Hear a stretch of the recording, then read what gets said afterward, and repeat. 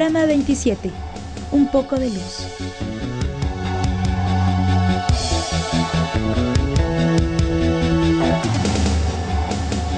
En este video identificaremos algunos fenómenos relacionados con la luz.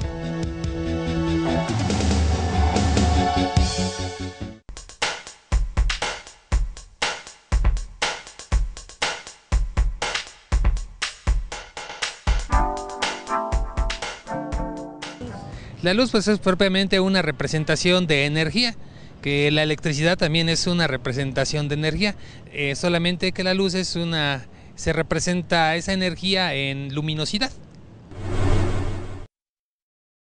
Sin luz no puede haber nada, porque si es natural sirve para que crezcan las plantas y si es eléctrica es para iluminar a la ciudad y todo los demás. Es como si es eléctrica es digamos la energía eléctrica transformada en luz. La luz es un elemento físico que está presente en nuestra Tierra. Nosotros, por ejemplo, si vemos una estrella, una supernova que explota, el reflejo de la luz es la que nos llega aquí a la Tierra, el resultado del viaje que hizo hace millones de años. Bueno, es energía eh, que puede ser transformada y de esta manera pues vemos este iluminación o también puede ser, por ejemplo, la energía del sol, también es luz o sí,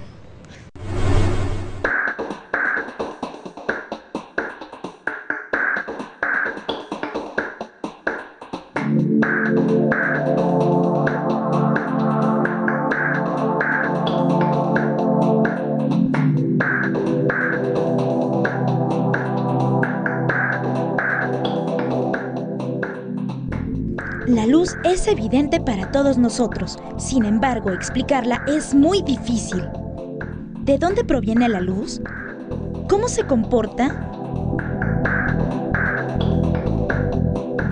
Existen muchos fenómenos relacionados con la luz. La luz se comporta de manera diferente cuando pasa de un medio a otro. Observemos. Los objetos se reflejan en el lago y en el espejo. ¿Por qué? ¿Por qué el objeto se ve como si estuviera cortado? ¿Qué hace que la luz se disperse como si fuera un abanico abierto?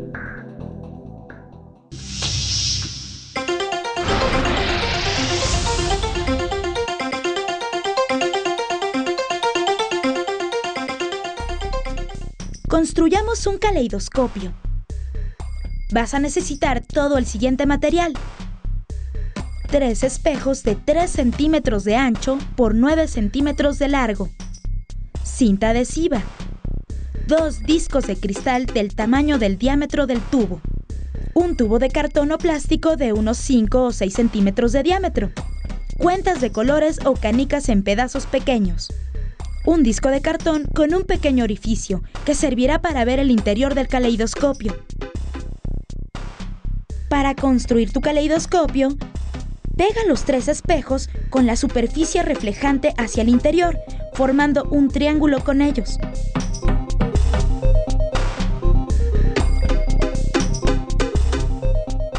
Introduce el triángulo de espejos en el tubo de cartón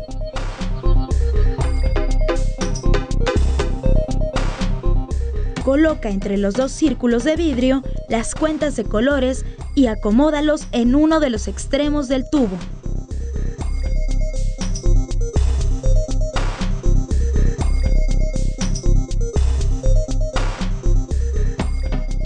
En el otro extremo del tubo, pon un pequeño disco de cartón con un orificio por el que puedas ver y disfrutar de las imágenes.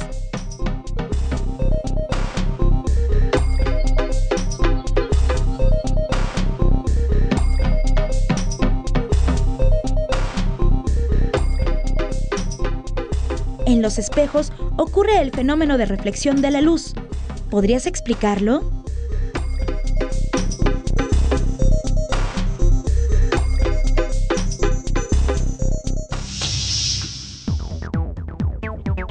La luz siempre ha fascinado a la humanidad. Hace mucho tiempo, Los antiguos árabes creían que la luz se emitía por los ojos en forma de rayos que iluminaban los objetos y así se podían ver estos.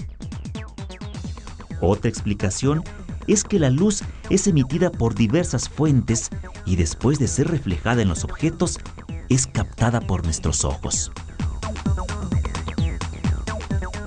¿De dónde proviene la luz que se refleja en los objetos y nos permite verlos? ¿De nuestros ojos o del exterior?